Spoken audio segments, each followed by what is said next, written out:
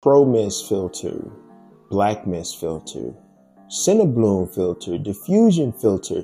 There's so many different names and they're all the same thing. So for the sake of this video, we're going to call it a Black Mist filter because that's pretty universal and people typically know what that is. Now, disclaimer, this is actually not a Black Mist filter.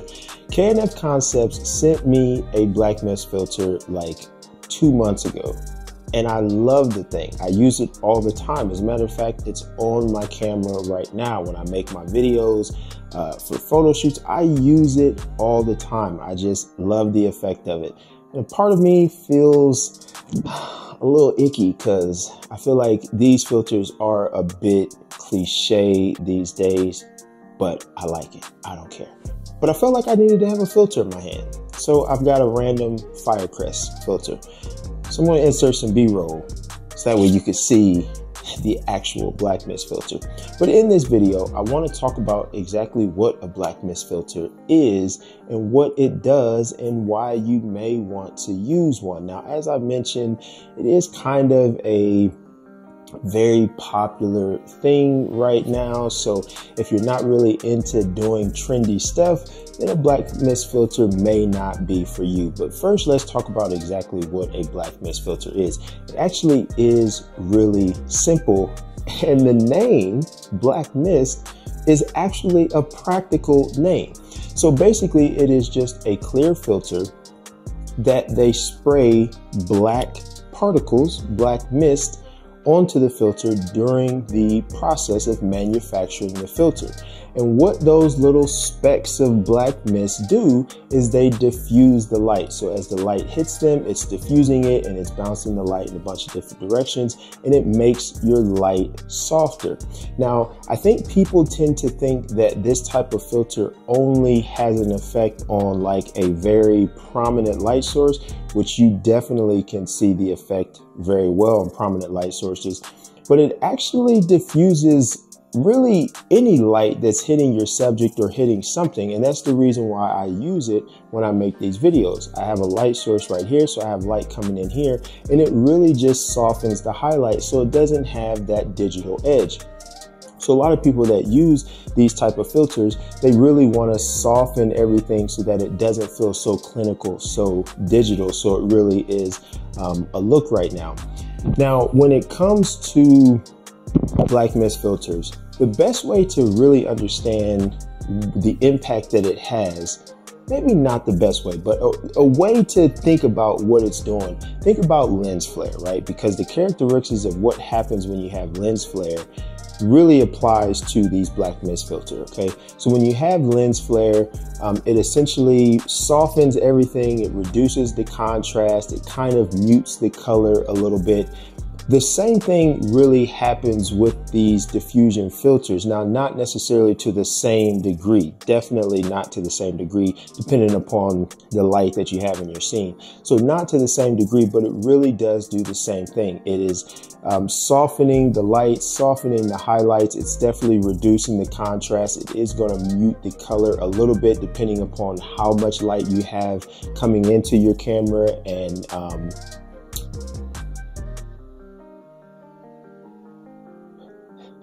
what was I going to say? Coming into your camera and how strong the light source is. My goodness. Um, so depending upon those two things, it really can wash out your image and that may be a look that you like, maybe it's not. Course, you can bring that contrast back in in post if you want there to be more contrast, you certainly can reduce your black levels to achieve the same thing.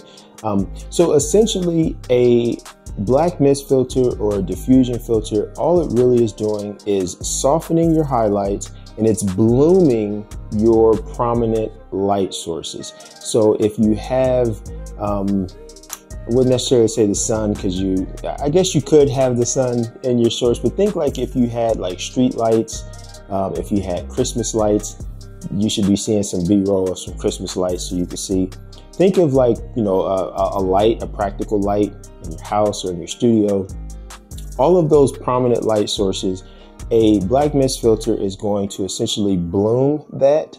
So you're going to kind of see like this uh, halo isn't the right word, but you're going to see uh, you can see there's there's there's something on the screen right now. You can see what I'm talking about. Um, so it's going to do that. Now, when it comes to these black mist filters, they do come in different strengths. So you often hear quarter black mist, one eighth black mist, half black mist, full black mist.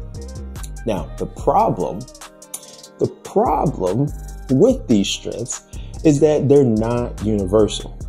the label is universal but the actual strength of the filter is not universal. Every brand kind of determines their strength however they determine it. So if you have a quarter from one company and a quarter from another company, uh, the strengths are not necessarily going to be exactly the same. So unfortunately, you really have to just try out the brand that you want to go with, the company that you want to go with, you really would just have to try out their specific one.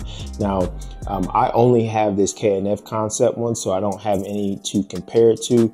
I would imagine that it's probably not necessarily going to be like a wide difference, but I can't say that. Don't hold me to it. So typically, you want to be at either like one eighth or one quarter regardless of brand, once you get into half and definitely full, it gets so it, it's way too strong usually. It's going to be a very specific look and it's not realistically going to be something that you would be able to use all the time. So if you don't have one of these and you're looking to get one, um, I have a quarter which I love. It's perfect for what I need. I have not experienced it being too strong at all. But if you're just getting into it, you may want to start with a 1 8 and then maybe work your way up. Or you know what? If you want to live crazy, because you know, YOLO, get a quarter, call it a day. You'll be good to go. Now, as I mentioned, I love this black mist filter. I use it all the time. But it is not perfect. And this actually isn't necessarily a negative with this specific filter, the K&F Concepts filter. Um, I, I think this filter is great. It's built well. I've not had any issues with it at all. But what I have noticed, and I think I would experience this with any other brand, but what I have noticed is that sometimes depending upon the light that's in the scene, the light that's, you know, going through the lens, hitting the sensor, my focus is not as strong. My autofocus is not as strong. Now it's not as bad as you know when you put like a six stop ND filter on and you're trying to focus through like a six stop. This is like pre uh, mirrorless days. DSLRs like when you put that six stop on there and you try to focus, good luck. Um, a little different with mirrorless, but even still, it's not that bad. But I definitely noticed if there was a lot of light that was coming in through the lens, sometimes my focus would hunt a little bit. Now, in the defense, I've actually not used this filter on my R5. So my R5 autofocus is rock solid. I typically use it on this 5D4 or my EOS R. Um, so maybe on the R5 may not be a problem. I don't really know, but I definitely want to call attention to that because I do think this would be a side effect of you essentially having a filter that's kind of bouncing the light in a bunch of different areas. Um, you could have some focus issues. Again, nothing to the point where it's unusable, but enough to where it's noticeable. So outside of that, I really don't have any negatives with this filter. It is a specific look. So like I said, if it's not your thing, if you don't like trendy stuff or, you know, if you really like punchy, high contrast images and video, this is not going to be the filter for you. This is going to do the complete opposite. So don't get it. Um, but if you do like that kind of look, or if you really want to just soften your highlights a little bit, it really is a great filter. Now I have a 77 millimeter and then I just have step down rings so I can apply it to all of my filters. Um, so yeah, I just wanted to make this quick video just to talk about these filters, just to kind of let you know what it is and how they work and what they do. So if you are interested in picking up a filter, I would highly recommend the K&F Concept filter because I've been using it nonstop for two months. So I know that it's rock solid. I can stand behind it. Um, and they'll probably be happy that I'm finally putting this video out. It took me a while, but it's here. Okay. I had to use it and make sure that it's good before I tell y'all, like, go pick one up. Got to make sure it's solid, right? So the K&F Concept one is definitely rock solid. I'll leave a link in the description below if you want to pick one up. And that's all there is to it.